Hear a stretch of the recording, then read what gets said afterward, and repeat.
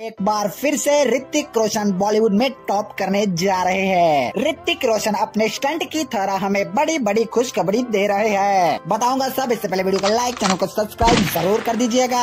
आप सभी को पता ही होगा कि ऋतिक रोशन की इस साल मच अवेडेड मूवी वायर अप के साथ वार टू आने वाली है। और वार टू को किस स्केल आरोप बनाया जा रहा है, कहीं न कहीं आपको भी ये पता होगा। लेकिन एक और धमाका ऋतिक रोशन इस साल करेंगे, वो है क्रिस जी हाँ आपने सही सुना क्रिस पॉर हमें जल्द ही फ्लोर पर आती दिखने को मिलेंगी। बताया जा रहा है कि ऋतिक रोशन क्रिस फोर के साथ इस साल के एंड तक जुड़ेंगे और इसकी शूटिंग शुरू कर देंगे। कहीं ना कहीं ये बात, ये न्यूज़ तो मार्केट में पहले से घूम ही रही थी। लेकिन इतना कंफर्म नहीं था कि आखिर इस मूवी को डायरेक्शन कौन देगा और इस मूवी का प्रोड्यूसर कौन होगा।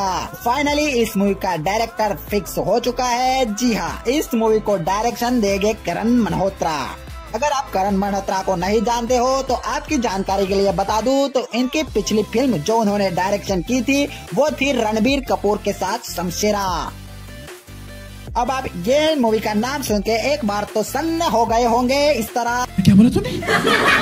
लेकिन आपकी जानकारी के लिए बता दूँ कि भले ही शमशेरा ने बॉक्स ऑफ़िस पर अच्छा परफॉर्मेंस नहीं किया था लेकिन इस मूवी के विजुअल और डायरेक्शन काफ़ी बढ़िया था। तो क्रिस पॉर को करण मल्होत्रा डायरेक्शन देने वाले हैं और इनके अलावा इस मूवी को प्रोड्यूस खुद ऋतिक रोशन के पापा, यानी कि राकेश रोशन करने वाले हैं। लेकिन एक और नाम शॉकिंग नाम इस मूवी के साथ जुड़ा है, वो है सिद्धार्थ आनंद। जी हाँ राकेश रोशन के साथ सिद्धार्थ आनंद भी इस मूवी पर पैसा लगाने वाले हैं और वो इस मूवी को डायरेक्शन नहीं, लेकिन प्रोड्यूस करेंगे। बात करें इस मूवी की कहानी के बारे में तो बताया जा रहा है कि इस बार ऋतिक रोशन अपने परिवार को बचाने के लिए टाइम मशीन का यूज़ करेंगे। मे भी टाइम ट्रेवल की कहानी हमें इस मूवी में देखने को मिलेगी। बात करें ऋतिक रोशन के रोल के बारे में तो ऋतिक रोशन हमें इस मूवी में नेगेटिव रोल में देखने को मिलेंगे और मूवी में कई सारे ट्विस्ट एंड टर्न्स देखने को मिलेंगे। अभी तक दूसरी कोई कास्ट का नाम कंफर्म नहीं हुआ है, लेकिन मूवी के डायरेक्टर और प्रोड्यूसर का नाम कंफर्म है।